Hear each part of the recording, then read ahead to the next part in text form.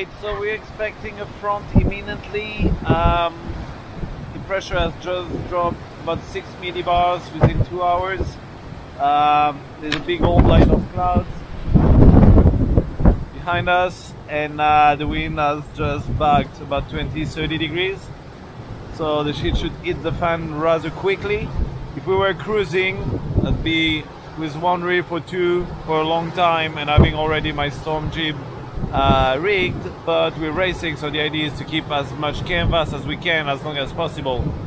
So we're monitoring this closely and having the other watch ready to come on deck to drop the Yankee, the Yankee in a rush when the when the wind starts blowing hard. Uh, but also might not happen, so it's always we're always on the bit on the edge of dropping a sail or not, or increasing canvas. That's what makes the whole thing a bit more challenging. This looks clouds look quite dark. Actually, it's worse in front than there.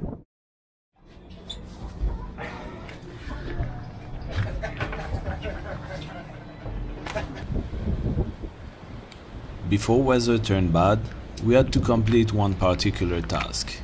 Since with the Clipper race, we are sailing in areas where not many people go, each leg in the Southern Ocean, three or four boats have been dropping drifter buoys.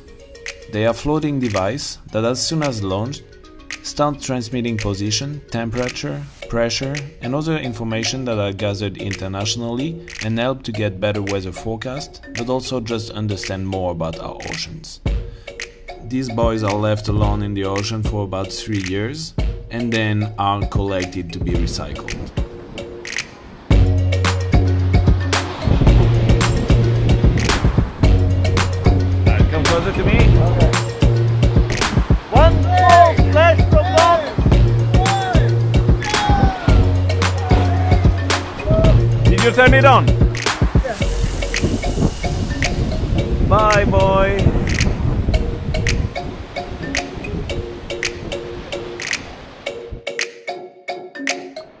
So actually the front wasn't as punchy as expected, which is pretty cool.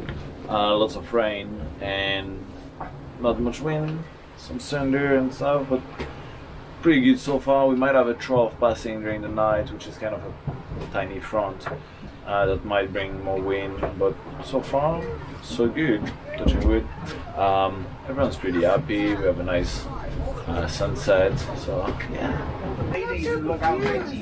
Now you You go. could have read three sausages and like half the breakfast at now. Did I? I don't know.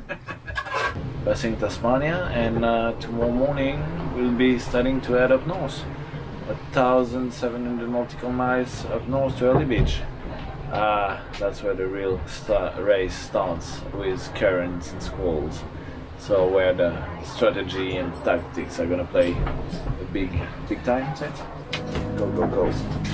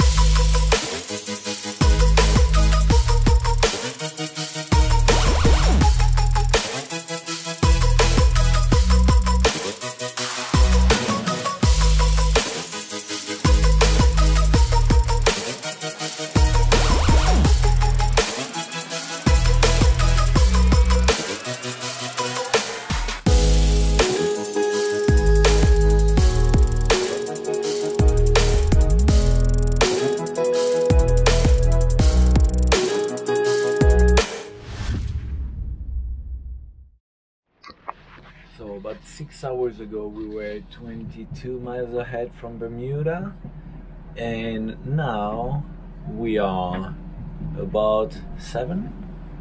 So there we chose the inshore option. They should, the, should choose the offshore option, and it paid off much better.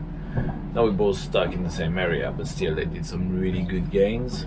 Um, might have been the same if we had chose the same option as them. We'd still be stuck here, but still I think we, we should have gone out. Anyway, it is what it is. Now we're trying to make progress north. It's not gonna be that easy.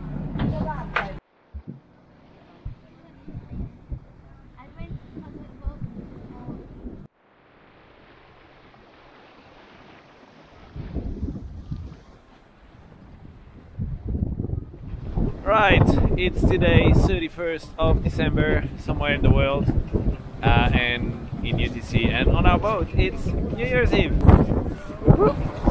Look at this, what a party!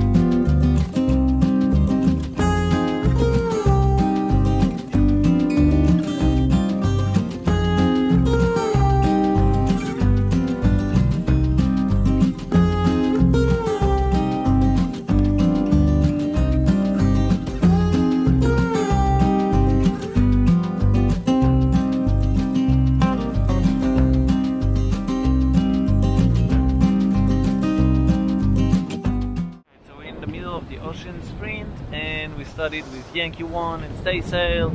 Changed at uh, 3, 2 in the morning, we changed to uh, code 3 and now we changed it to code 2. Probably next watch we change to code 1. The wind is dying. Hello! The golf course is not here, miss. I'm sorry. I like it. Really Uh, good on you.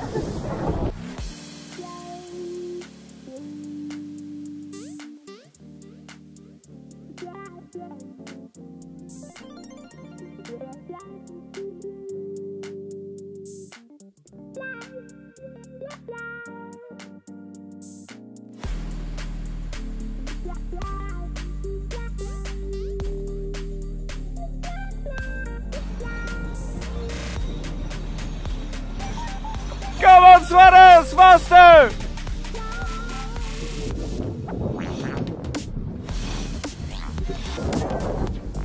Manuel got it. He's, he's, Manuel got it. He's, he's the one pulling the sack. Good job, everyone! a bit off balance. Right, crew, my voice. Can you hear me all right? So, um, we're going to go from heavyweight sheets to lightweight sheets. We are going through tweakers. Sorry. Use a tweaker this time? Nope. No tweaker. Right. Any question on that? Who does it? You do. Well done. And say hello to the camera. Jerome, as many teddy bears as we can. Right, teddy bears clips on. Ready in the cockpit? Ready for deck? Ready! Okay, Mike Furby, it's all on you. No one's looking. Beautiful.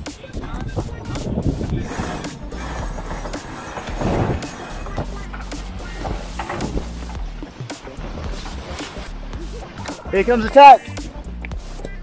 Mind yourself, mind yourself. Okay, get better hugging. Okay, Manuel, let's get sorting the tack line. Jerome, let's get rigging up the next kite sheet. Right, foredeck ready. ready. Cockpit ready. Ready. Helm ready. Go, go, go.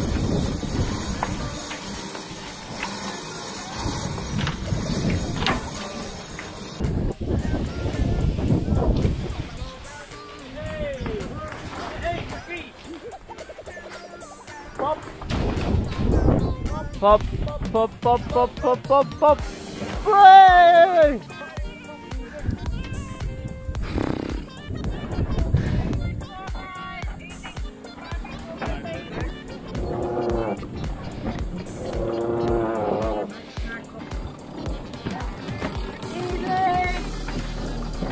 You got me saving the kite on it. No, I haven't seen. Uh, what happened?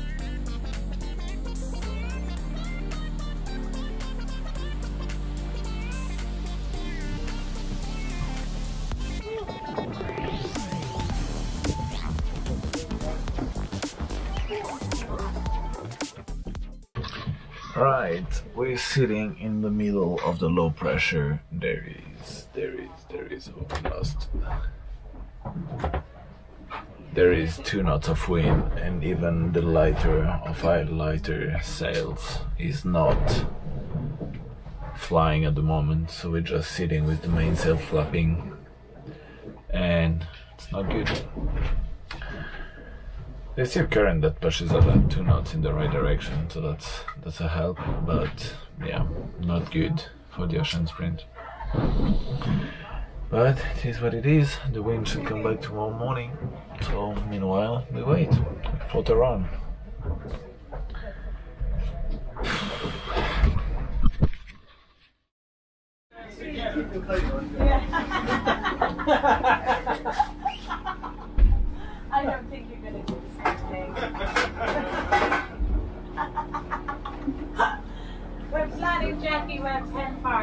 party, Hugo. Do you want to see it? You always try to do a dance, and then later in the night, Jerome has volunteered to do a dance for the ladies. Okay. No, no, no. so, Hugo, do you want to get involved? no. Yeah. You sure? Yes. Okay. So let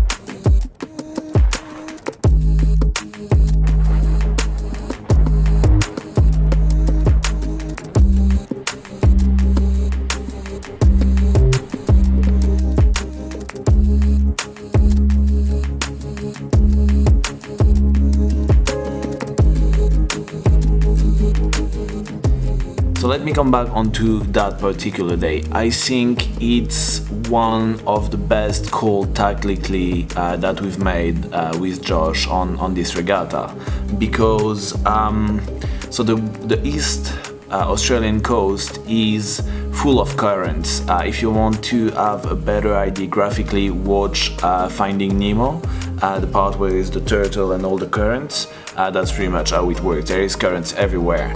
At that point, there was a low pressure coming down uh, the east coast of Australia, and the fleet uh, split into different groups. One group with our main competitor that at that point were uh, Zhuhai, Qingdao, Bermuda as well. Uh, they went uh, along the coast where they would have a little bit of current against them, but quite good wind pushing them up the coast. We made the choice to uh, have um, wind against us, go more offshore where the current will be pulling us uh, north. So after 48 hours uh, of beating into the wind, we found ourselves uh, in front of the fleet. So we had uh, managed to gain a competitive advantage out of this move because the, the low pressure kept uh, moving south and our competitors did not manage to make such good gain with uh, the wind in the back and they found themselves kind of the light wind uh, after the low pressure when we uh, managed to get fresher wind first uh, because of the few uh, dozen miles we had gained uh, on the rest of the fleet. It's easy to replay the game afterwards. But at the moment of taking the decision to go offshore, it was really tricky, and we knew that there was a percentage of chance that this could be a pricey mistake. But at the sailing game, sometimes you lose, and sometimes you win. And that time, we won.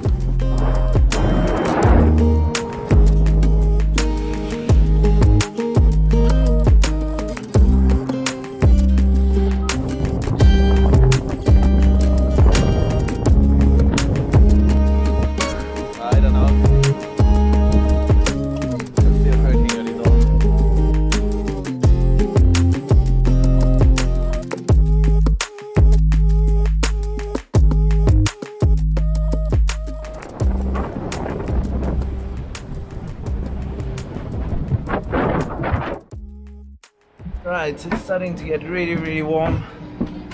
Proper Australia warm, so we get the umbrella out.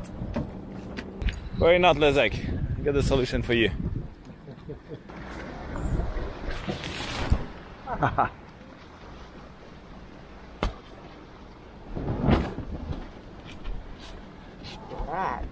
Thank you, Mark, for wherever you are, for this great. We're about 120 miles from arrival, and basically one long drive since two days, all the way in between Australia and the and the Great Barrier Reef. And yeah, everything goes as planned. Tonight we'll be passing the line. Josh, are you stressed? Uh, yeah, massively. so, Why? um, because we always muck up, and we haven't mucked up the entire leg. So, We might have found the beginning of a solution to fight the heat. Works pretty well. We're 75 miles from the arrival. There's these big clouds building in the back, so might be eventful till the last minute.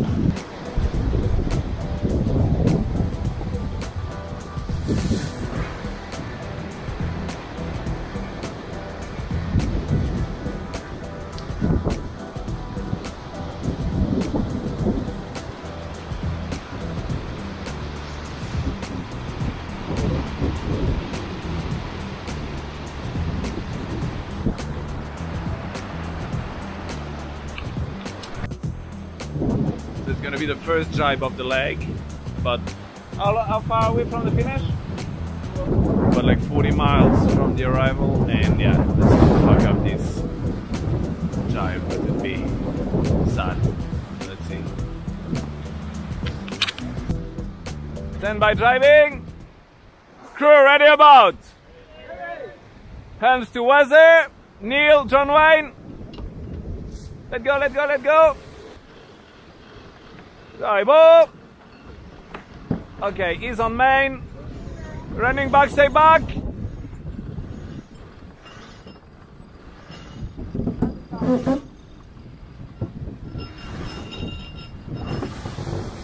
Hold. Lazy shit. He's lazy. He's lazy. Big is.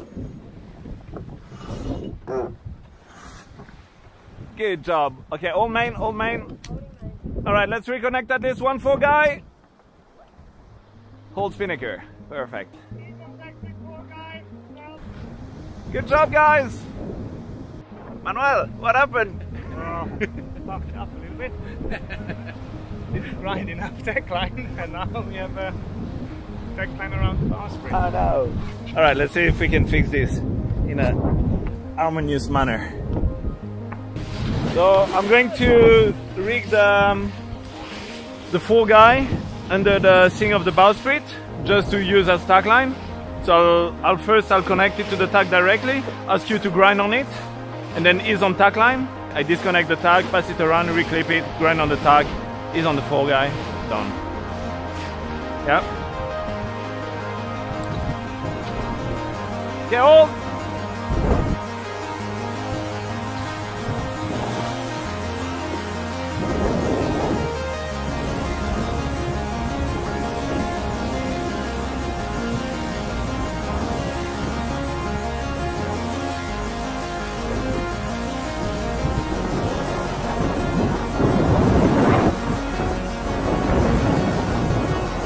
Okay, grind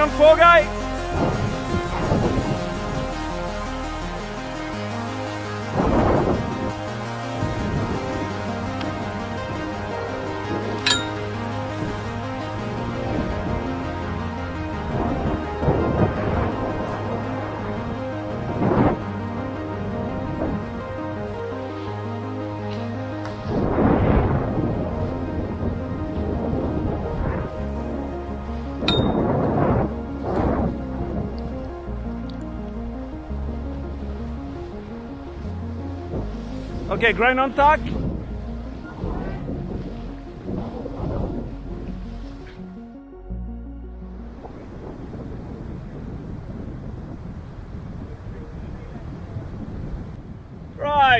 Deck ready! Cockpit ready!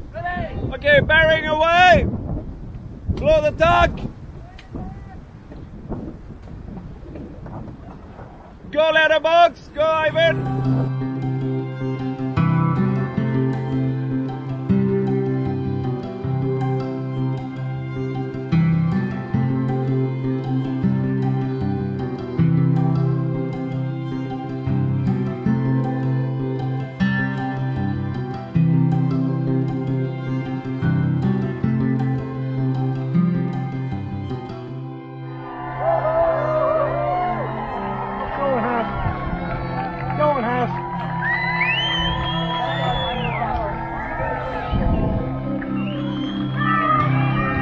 Right, guys. One cheer, and then we focus on the on the maneuver. Okay? One, two, three. Hands man! Follow me!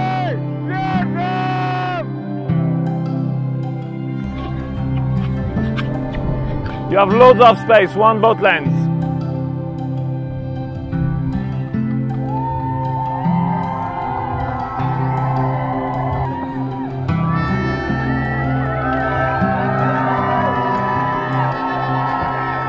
side an Still two meters closing. One meter. Make fast.